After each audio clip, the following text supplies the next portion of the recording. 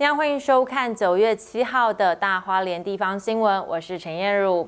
由花莲县原住民族部落大学主办，国立东华大学法律系协办的国际跨域联结原住民族法律。扶助国际座谈会在花莲县台湾原住民族文化馆办理，而座谈会聚焦于推动原住民族法律研究，并促进台湾与国际间的跨域合作，也吸引了多国的专家学者以及部落代表参与。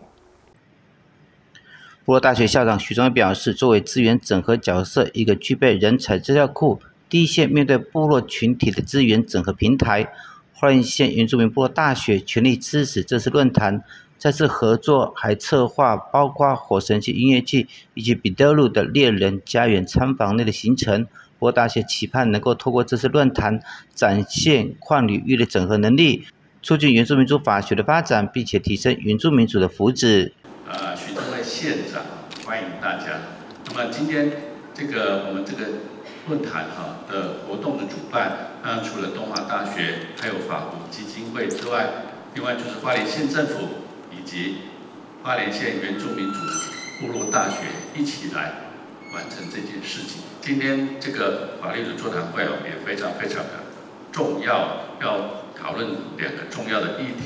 那当然第一个是原住民智商同意的部分，那第二个是有关文化安全呃的这个。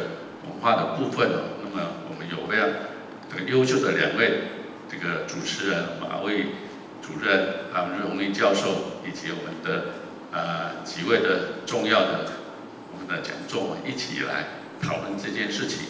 那我们现场也有很多我们部落大学的伙伴啊，今天也来到现场，也想要了解啊这个问题，还有在工作或者在生活的实务上。他们可以怎么来理解或者来应用啊？也欢迎他们啊。最后呢，啊，再次代表啊花莲县政府，代表徐正惠县长，感谢大家今天的莅临。论坛期间，与会者针对部落同意权的实务运作以及文化安全的法律服务等议题展开了深入的讨论。